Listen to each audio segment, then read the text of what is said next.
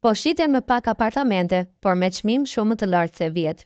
Ky është përfundimi i arritur nga analiza e tregut të pasurive të paluajtshme.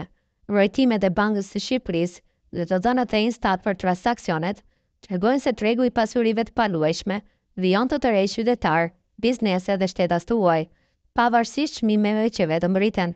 Përgjatë gjashtëmujorit të parë të vitit, transaksionet e pasurive të paluajtshme kanë arritur në shifra rekord. Sipas INSTAT, nga janari deri në fund të muajit qershor, transaksionet në këtë sektor arritën në vlerën pesëdhjetë e tetë pikë katër miliardë lekë, duke u rritur me dy pikë shtatë miliardë lekë, krahasuar me të njëjtin gjashtëmujor të vitit të kaluar.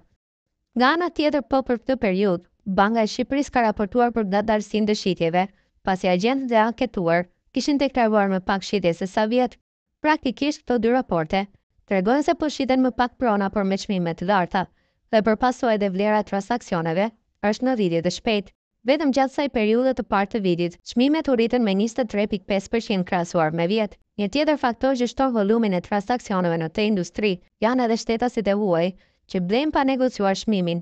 Referuar shifrave të Bankës së Shqipërisë, afro një e treta e pronave në pesëvjeçarin e fundit po blihet nga të huajt. Interesi i të huajve për pasuri të paluajtshme në Shqipëri tregohet edhe nga shifrat e investimeve direkte, pasi në gjashtëmujorin e parë të vitit, një në katër investime të huaja në Shqipëri shkon në sektorin e pasurive të paluajtshme. E përkthyer në vlerë janë njëqind e tetëdhjetë e një milionë euro të shpenzuara nga të huajt për të blerë prona në Shqipëri e kryesisht përgjatë vijës bregdetare dhe në zonat kryesore të qendrës së Tiranës, ku një metër katror ka kaluar katër mijë euro.